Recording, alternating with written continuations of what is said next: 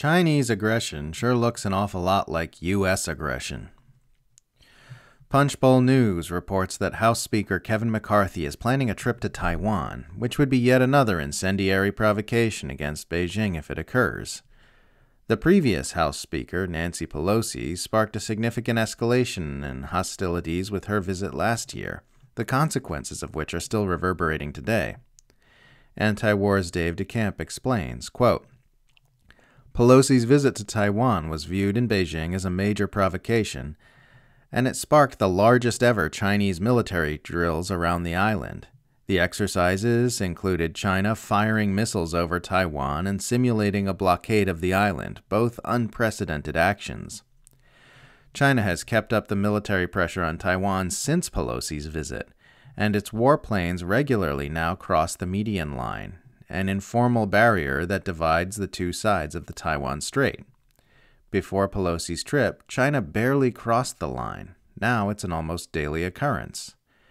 Beijing views the U.S. House Speaker visiting Taiwan as an affront to the One China policy and the understanding the U.S. and China reached in 1979 when Washington severed formal relations with Taipei.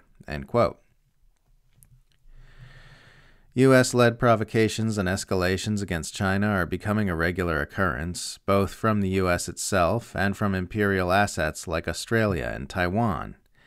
Yet, according to the Western political media class, the urgent threat of our day is Chinese aggression. After the House of Representatives voted to approve the new Select Committee on China, a Republican initiative designed to increase internal pressure in the U.S. government to ramp up the new Cold War, the committee's chairman, Mike Gallagher, put out a statement saying that it is time to push back against the Chinese Communist Party's aggression in bipartisan fashion. Gallagher is a particularly noxious warmonger who says urgent efforts must be made to stop China from destroying the capitalist system led by the United States in order to make way for the triumph of world socialism with Chinese characteristics. He advocates the selective decoupling from specific sectors of the Chinese economy and says the U.S. is in the early stages of a new Cold War against China he advocates pouring weapons into Taiwan in much the same way the U.S. did in the lead up to its proxy war in Ukraine, and asserts that the U.S. needs to be preparing for a direct hot war with China in the near future. Gallagher's hawkishness on China is quickly becoming the mainstream consensus position in the Western political media class as the U.S. centralized empire ramps up aggressions while continually complaining about Chinese aggression. The U.S. empire has been increasingly positioning its war machinery around China since the Obama administration's pivot to Asia in ways that would have led to an immediate Third World War if the roles were reversed, and its aggressions have escalated with each subsequent administration. Just in the last couple of months, we've had news that the U.S. is planning on returning to its Subic Bay base in the Philippines as part of its encirclement campaign against China and also intends to station missile armed Marines along Japan's Okinawa Islands. The U.S. is also reportedly working on building a network of missile systems on a chain of islands near the Chinese mainland, explicitly for the purpose of countering China. The U.S. and its allies have dramatically increased their naval presence in disputed waters near China, viewed as acts of aggression by Beijing. None of this would be tolerated by the United States if China were openly moving its war machinery into adjacent areas with the stated goal of countering the U.S.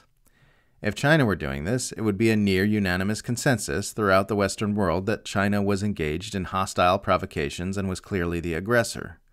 Nobody would listen to China if it claimed it was militarily encircling the U.S. for defensive purposes. But that's exactly what happens with U.S. aggressions against China. It's just taken as matter of fact when the US says it's moving more and more war machinery into the waters around China as a defensive precaution to deter Chinese aggression. Because the narrative is coming from the most effective propaganda machine ever devised, we hear, nah, bro, the US is militarily encircling its number one geopolitical rival on the other side of the planet defensively. Because, like, what if China tries to do something aggressive? In a surprisingly decent foreign affairs article titled The Problem with Primacy, Van Jackson argues that the U.S. is behaving in such a transparently aggressive manner toward China that it can't possibly claim to be acting in the interests of preserving peace and stability in the region.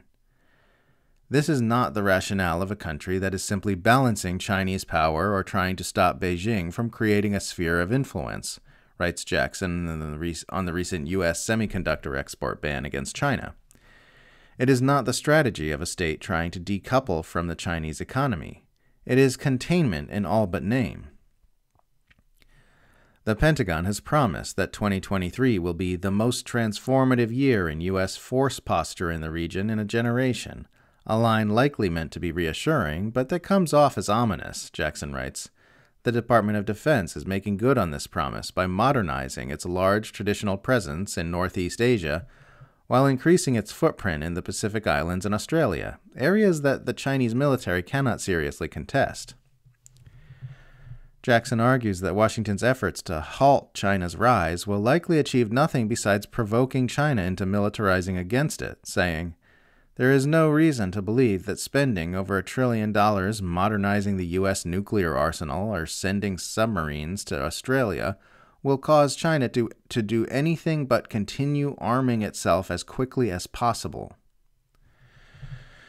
This aligns with the warnings of an anonymous U.S. official cited in a November article by Bloomberg, who said that the hawkish tone in D.C. has contributed to a cycle where the U.S. makes the first move, interprets Chinese reactions as a provocation, and then escalates further.